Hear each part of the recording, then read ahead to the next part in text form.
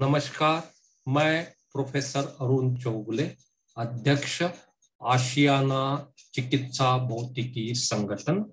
आपको आज सात नवंबर को अंतर्राष्ट्रीय चिकित्सा भौतिकी दिवस मनाया जा रहा है। उसके उपलक्ष्य में बहुत सारी बधाइयाँ देता चाहता हूँ। चिकित्सा भौतिकी स्वास्थ्य कर्मी है। इंटरनेशनल लेबर ऑर्गेनाइजेशन तथा विश्व स्वास्थ्य संगठन ने भी चिकित्सा भौतिकी को चिकित्सा कर्मी माना है। परंतु चिकित्सा कर्मियों द्वारा चिकित्सा क्षेत्र में जो योगदान दिया जाता है, वो बहुत अहम है। उसके बावजूद भी जनमानस में। और जनमानस की क्या बात करें, हमारे अन्य चिकित्सा कर्मियों के को भी इस उपलब्धि के बारे में, उनके कंट्रीब्यूशन के बारे में बहुत अधिक जानकारी नहीं है।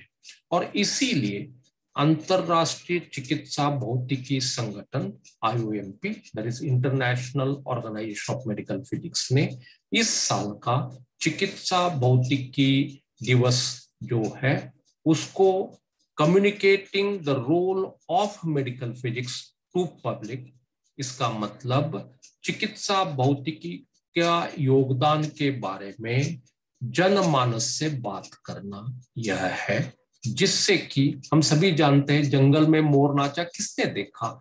और हम इतना सारा कंट्रीब्यूशन हेल्थ केयर के लिए करते हैं, लेकिन जो उचित हमें लाभ मिलना चाहिए या हमें कीर्ति मिलनी चाहिए, वो नहीं मिल पा रही है। और इसीलिए इस वर्ष का अंतरराष्ट्रीय चिकित्सा भौतिकी दिवस जो है, इस रूप में मनाया जा रहा है।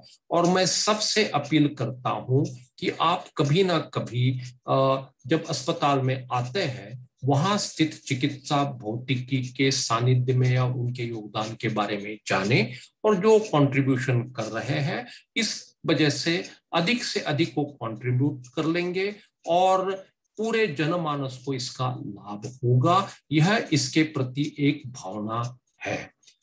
पुनः एक बार मैं आप सबको अंतरराष्ट्रीय चिकित्सा भौतिकी दिवस की बहुत बहुत शुभकामनाएँ देता हूँ और इस आशा के साथ मैं विदाई लेता हूँ कि हम चिकित्सा भौतिकी के योगदान के लिए आकलन करके उनको जो उनका स्थान है उचित स्थान हम देंगे धन्यवाद।